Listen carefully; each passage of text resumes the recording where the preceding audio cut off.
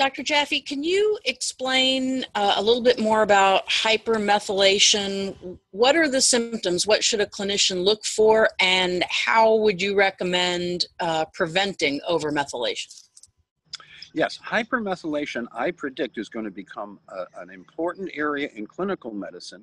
It has been an important area in research and in academic medicine for years, maybe even decades. Uh, and the importance is the following uh, when the body translates the DNA, when it transcribes the RNA, when it makes proteins, when it moves proteins around, the way in which it does that process, the synthesis and the folding and the moving around, is by either adding or subtracting methyl groups. It turns out more methyl groups make you more water soluble, more easily movable. And if you take methyl groups off, you put something in place, such as a collagen or elastin molecule or something that has worn out and you're replacing it, methylation is very far upstream. And since it's such a fundamental cellular uh, component of metabolism,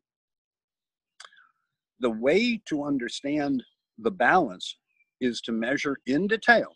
This is usually done on a combination of plasma and 24 hour urine.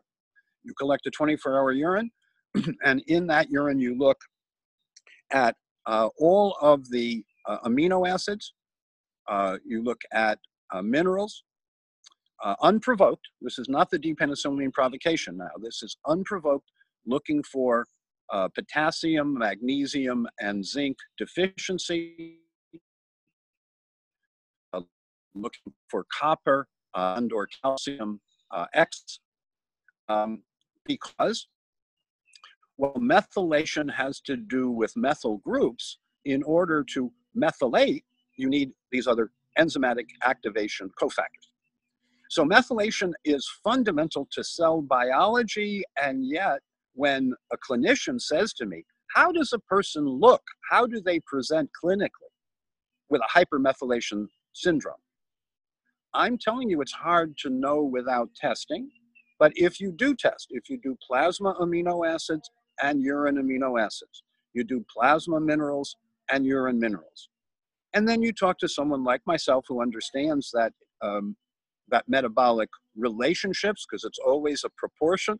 It's always sodium to potassium, copper to zinc, uh, magnesium to calcium.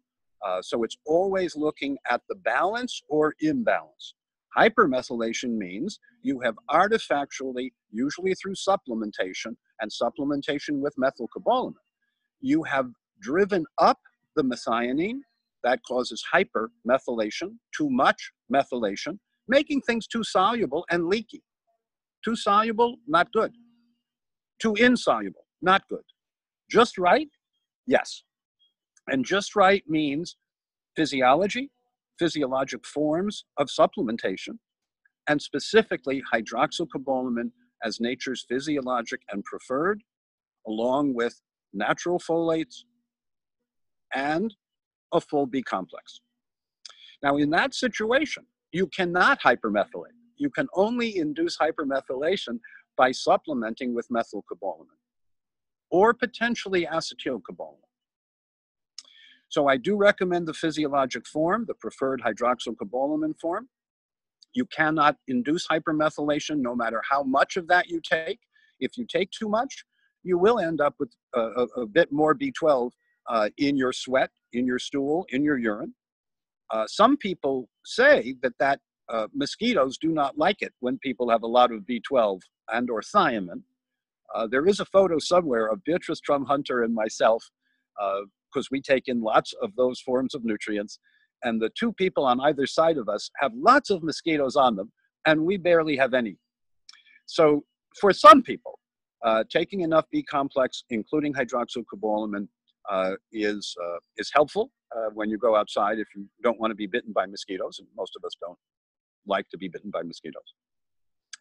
Um, and so the way to manage hypermethylation is to know that the uh, methylcobalamin form induces hypermethylation, can convert metallic mercury to methyl mercury, can drive up the methionine and artificially drive down the homocysteine.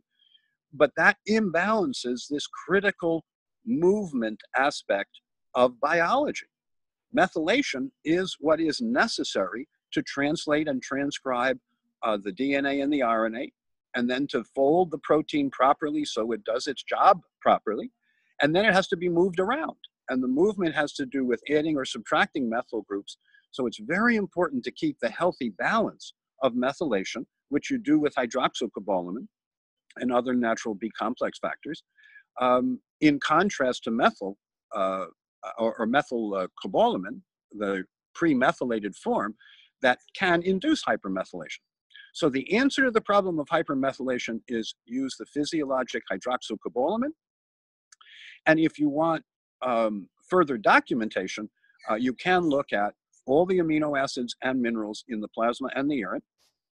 And I'd be happy to work with you and any of our staff uh, can help uh, in an individual case uh, interpret such results.